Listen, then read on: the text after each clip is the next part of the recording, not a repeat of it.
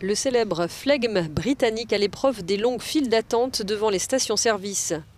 À Londres, la circulation s'en ressent. En cause, une pénurie de carburant liée à un manque de chauffeurs routiers pour le transporter. La situation dure depuis plusieurs jours.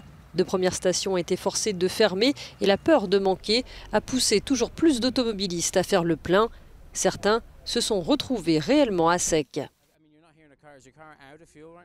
Ma voiture est garée à 4 km. J'ai appelé les stations-service toute la matinée, personne n'a répondu.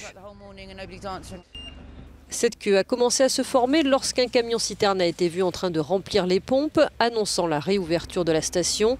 La nouvelle s'est répandue, semant le chaos. On est bloqué ici depuis une heure, on a fait seulement 100 mètres. C'est de la folie. C'est bouché de partout, on est littéralement coincé. On perd notre temps, c'est un cauchemar.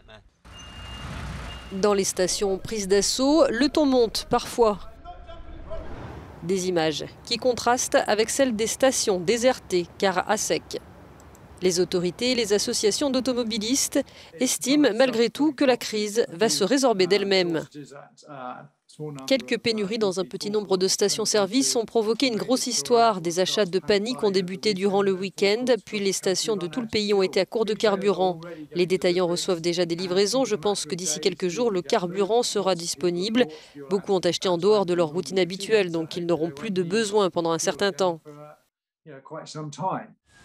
Le manque de chauffeurs routiers dure depuis plusieurs mois à cause de la pandémie et du Brexit combiné. En quête de solutions, Londres s'est résolu à amender sa politique d'immigration post-Brexit. Le gouvernement a accordé plus de 10 000 visas de travail de trois mois pour pallier le manque de camionneurs, mais beaucoup doutent que cela soit suffisant. Le gouvernement, les industriels et les associations d'automobilistes pensent que la crise va se calmer quand les gens arrêteront ces achats de panique. Reste à convaincre des gens qui voient les files d'attente comme celle-ci. Certains avertissent que la pénurie de chauffeurs routiers, qui est partiellement en cause, aura des conséquences bien plus désagréables lorsque l'hiver arrivera.